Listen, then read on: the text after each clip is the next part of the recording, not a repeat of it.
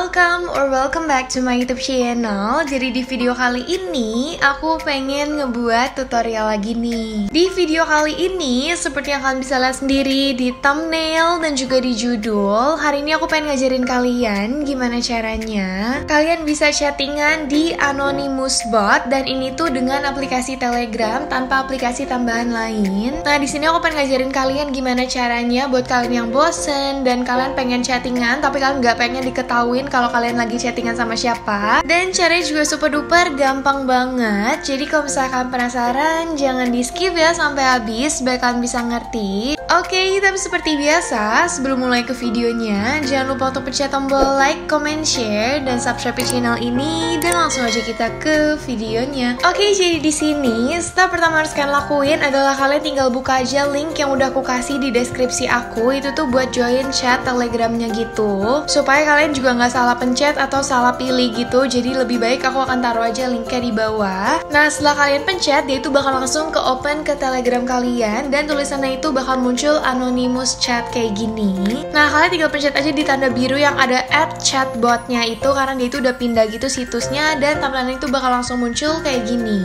Nah tadi itu aku udah coba dari sini aku udah delete dan restart ulang jadi kalian tinggal pencet aja start di bagian yang bawah situ. Nah karena tadi itu aku udah pernah coba jadi di sini tuh tulisan aku bukan start tapi restart. Nah, di sini kalian tinggal pencet aja di bawah situ. Nah, di sini tuh kalian bisa chat dengan siapa pun gitu dan kalian juga nggak diketahui kalian chattingan sama siapa dan orang yang ngechat kalian itu juga nggak tahu kalian siapa. Nah, setelah aku pencet, tampilan itu bakal langsung muncul kayak partner found gitu. Cuma di sini ada kayak kesalahan gitu karena partner aku itu ngomong-ngomong yang halnya itu kayak nggak bagus gitu. Jadi aku kurang suka. Jadi aku akan sensor aja di sini. Nah, karena partner chat aku ini kayak nggak bagus gitu ngomongnya di sini aku akan pencet slash stop. Nah, artinya kalian itu pengen stop pembicaraannya, jadi kalian tinggal pencet aja slash stop. Nah, untuk cari lagi partnernya itu gampang banget, kalian tinggal pencet aja di bawah, yaitu find a partner. Atau kalian juga bisa ketik slash search. Jadi untuk cari partner, kalian bisa pakai slash search, dan juga untuk stop pembicaraan, kalian bisa pakai slash stop. Nah, di sini saat aku pencet find a partner, di sini udah ada tulisan partner found, jadi udah bener-bener ada partnernya gitu. Nah, di sini kamu bisa chat duluan atau kalian bisa mulai chat juga. Atau kalau misalnya kalian pengen nunggu orangnya yang ngechat kalian juga bisa. Pokoknya kayak chattingan sama teman biasa gitu. Nah kadang itu sesuai dianya lagi aktif atau enggak. Kalau misalnya dia bener-bener lagi pengen chat kalian dia bakal cepet chatnya atau jawabnya. Tapi kalau misalnya dia kayak lagi mungkin lagi AFK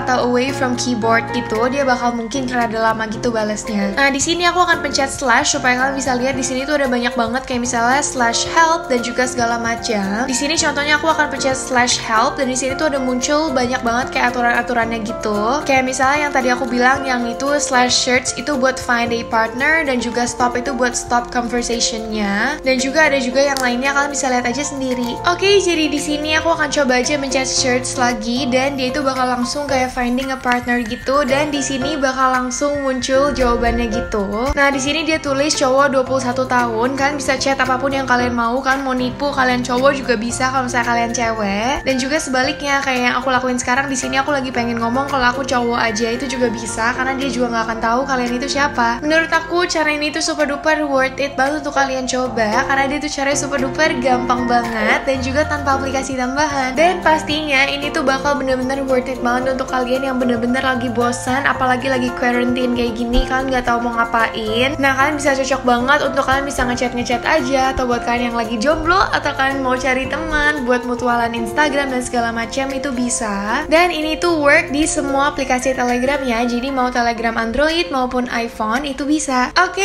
selamat mencoba. Semoga berhasil ya. Oke, jadi segitu dulu video dari aku. Semoga kalian suka sama videoku yang kali ini. Kalau misalnya kalian suka sama video ini, jangan lupa untuk pencet tombol like, komen di bawah. Kira-kira selanjutnya aku harus ngebuat video apa dan sebisa mungkin aku akan buatin buat kalian. Share dan subscribe channel ini dan jangan lupa untuk follow Instagram aku. Di sini aku udah taruh. Thank you for watching. Have a nice day and see you in the next video. Bye bye.